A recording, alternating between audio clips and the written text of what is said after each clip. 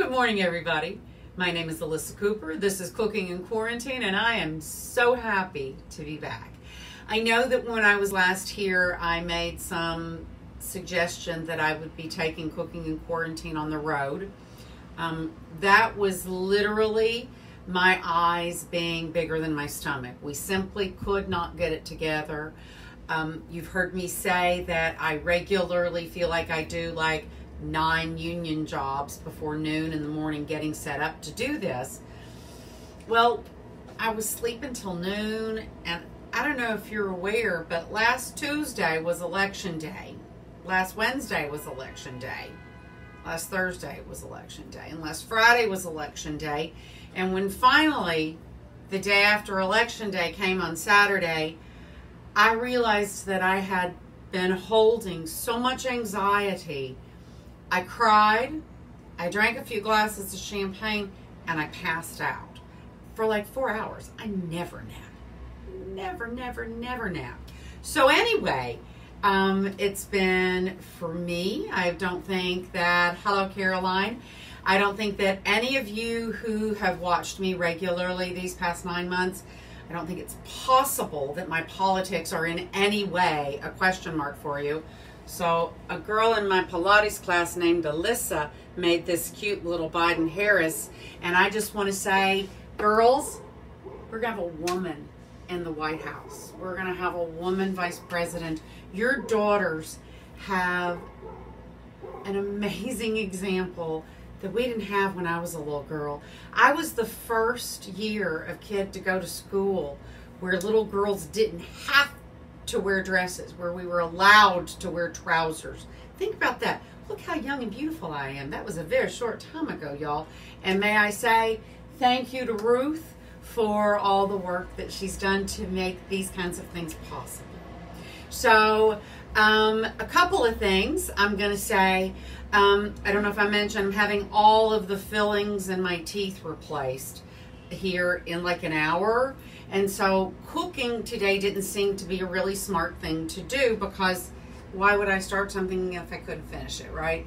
So um, I do have, though, a whole lot of plans. Um, this is a big nod to my neighbor, Tom, um, that he's like, you know, your soups, your soups are so good, and this is soup season.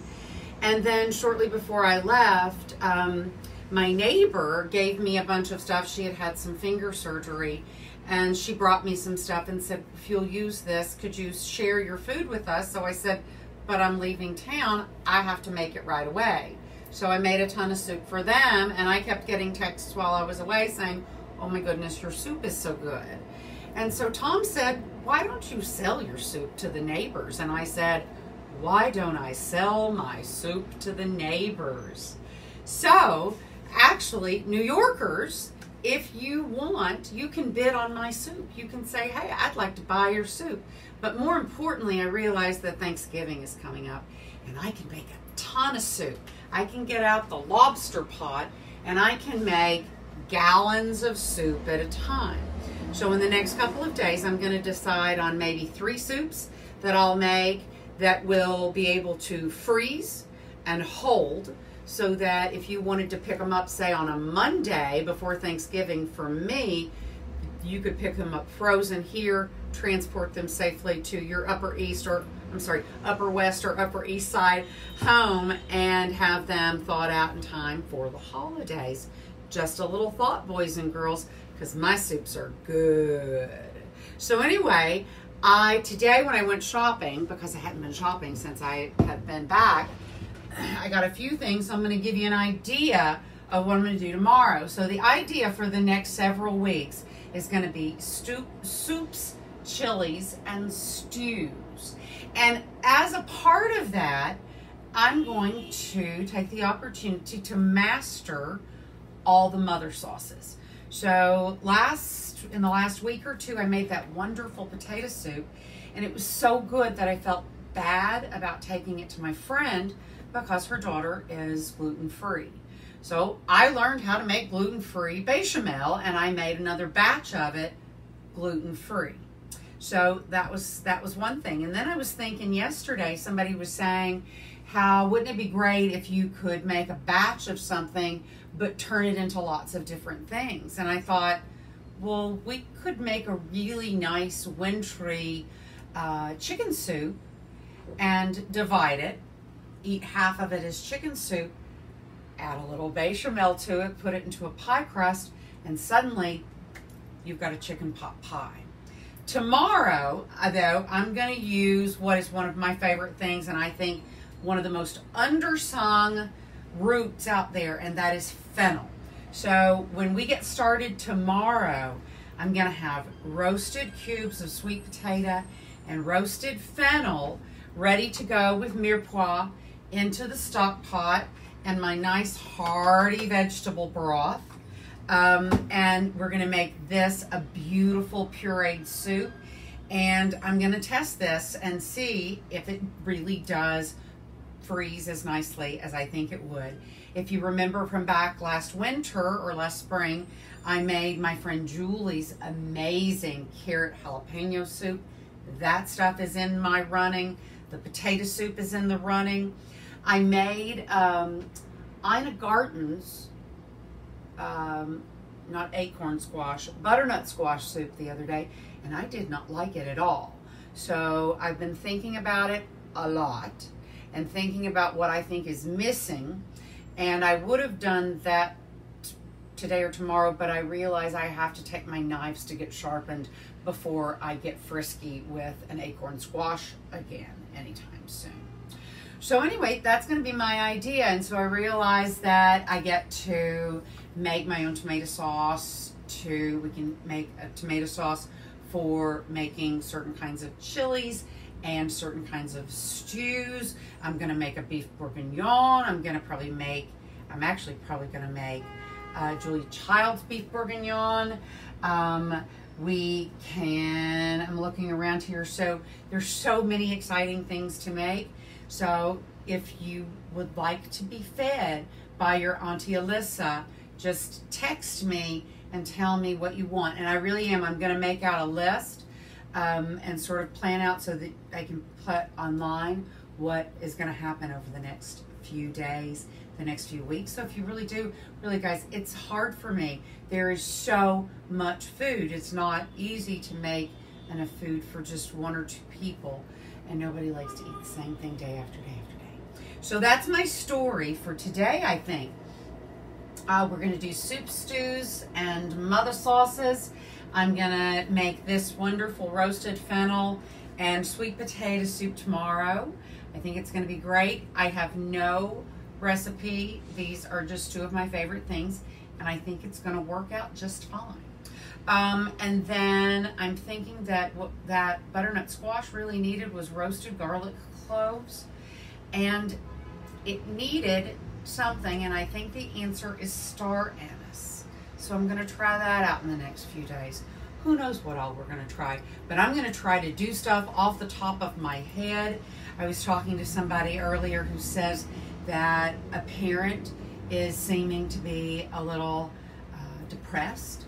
And um, and I said, well, of course, you know, if you're if you were um, at least I can pretend to work and do some things. And uh, but if I were retired and I couldn't travel because if I feel for my parents, that's what they planned to do with their retirement was travel, and they've had to cancel at least two or three trips that they normally would do. So I get that.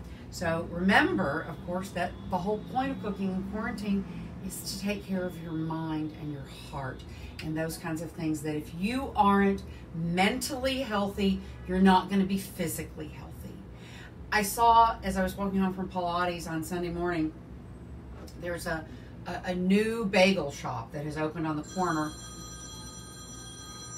Oops, I forgot to mute my phone. There's a new bagel shop that has opened on the, okay, where's the phone? I can hear it, I can't see it.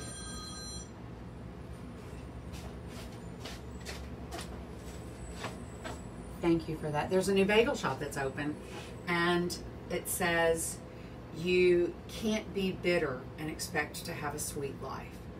And I thought, oh, I literally I stopped and took a picture of it because I thought it was so meaningful.